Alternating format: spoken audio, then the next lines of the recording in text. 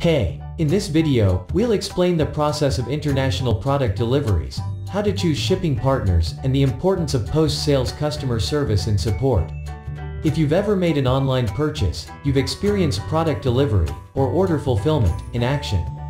From the customer perspective, you simply visit a website, select a product, give the merchant your payment and shipping information. Then wait for your order to arrive. Afterwards, if you have any issues, you contact the business for assistance.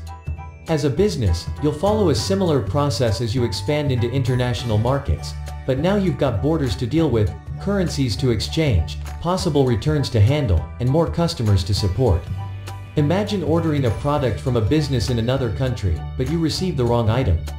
What happens if you're unable to communicate with the business, or you're unable to return it back across borders? You'd be quite an unhappy customer. As a business owner, you can avoid the scenario with the proper preparation. Let's look at some things to consider for international deliveries. Let's say you own a vintage record shop. The new reissue of the Beatles Revolver on vinyl has become so popular there's a run on orders. Let's have a look at your inventory and supply chain process.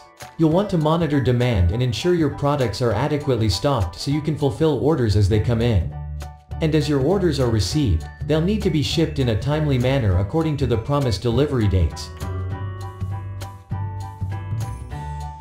Have you thought about your ability to ship and the time and costs involved? Shipping across borders may involve extra costs that you'll need to factor into your pricing model. Now let's think about shipping partners. Not all shipping companies have access to all markets, so you'll want to partner with a reliable cross-border shipping company or agency. Some cross-border shipping partners may have better access to certain markets, as well as the ability to collect and pay import or customs taxes on your behalf. Your shipping company, or companies, if needed, can also advise you on packaging and labeling for shipping across borders. Be sure to explore all your options. Reliable shipping partners can truly drive your success when orders are shipped accurately and received in a timely manner. Even when a customer has successfully received his order, your job isn't finished. This post-sales period can be a crucial time for your business as you try to cultivate this one-time customer into a loyal, repeat buyer. What happens if your customers in other markets need to return or exchange their purchase? How will your business handle exchanges? How will you process refunds? It's really important to provide clear, upfront instructions to your customers about the policies and processes involved in refunds or exchanges. No matter where they're located, customers expect prompt and friendly service. You can provide support online or via the telephone, but either way, you want your customers to be able to contact you directly.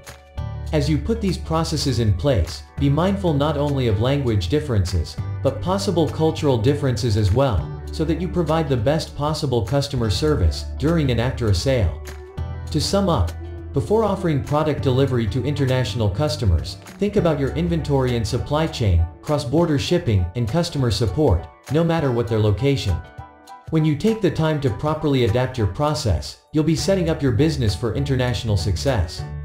Thank you for watching, subscribe to our channel for more videos like this.